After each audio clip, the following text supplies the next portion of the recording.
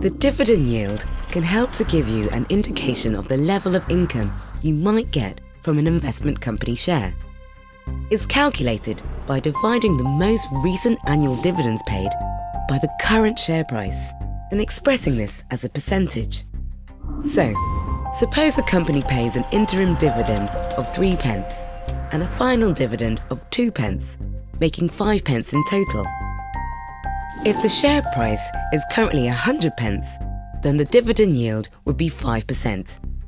Remember, dividend yield is only an indication of the level of income you might get from an investment company share, and this income is not guaranteed.